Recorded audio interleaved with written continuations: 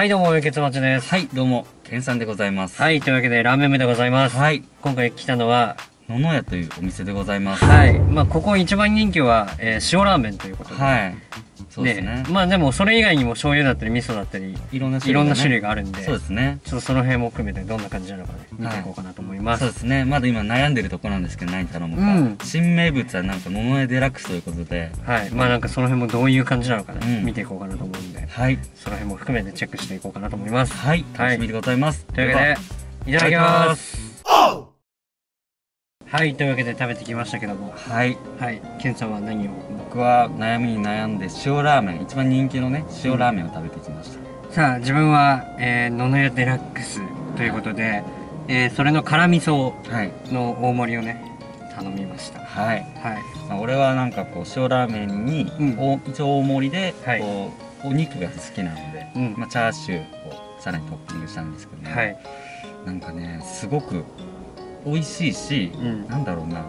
普段食べてももちろん美味しいんだけど結構その想像以上にあっさりしていたのであなんか例えば飲み会の後とかでもうん。食べられて、でそれでいてやっぱりスープがうん。飲みやすいので、なんか普段あんまりスープって俺正直飲めないんですよどこのお店うの、ん。でもなんかあっさりしてるから飲めるかなと思って飲んだらすごくさっぱりしてて美味しくて、うん。だからそれこそ本当に飲みの後とかにもすごいおすすめのお店だとう思います。んなるほどね、うん。まあ、野々屋デラックスに関しては、うん。もうそれこそ味玉だったり、うん。チャーシューが3種類乗ってたんですよ、うん。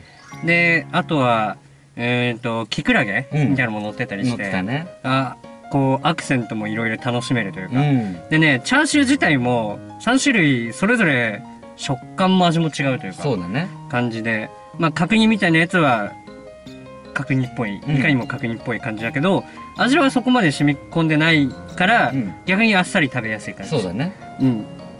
で普通のチャーシューっぽいやつは、一番とろみがあっうて、ん。柔らかい感じそうね。でしたね。でえー、と一番でっかいチャーシュー、うん。大きいい一本物がねね。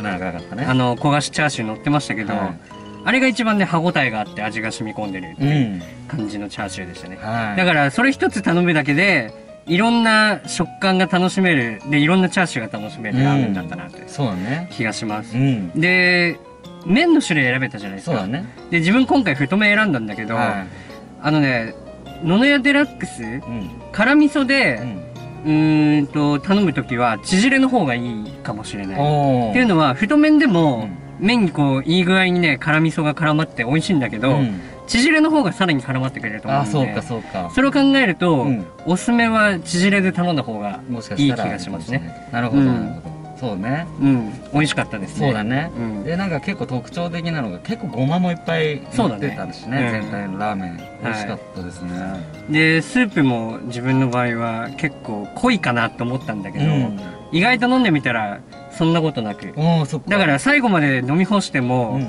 しょっぱってなる感じがないだろうなっていう、いいねそこはいい気がしましたね。うん。見た目は結構濃そうだったけどね、そう結構赤い感じで、あうん。濃いかなと思ったんだけど、うん。意外とそんなことなかったんで、嫌な濃さではない、うん。いいね。だからちょうどいい加減のスープの味でしたね。素晴らしいですね。はい。そんな感じの麺でしたね。はい、はい。最高に美味しかったでございます、はい。というわけでごちそうさまでした動画見ていただきありがとうございます。概要欄の中から他の動画もぜひご覧ください。チャンネル登録お願いします。ゲーム実況もやってますのでそちらもぜひ。それではまたお会いしましょう。バイバイ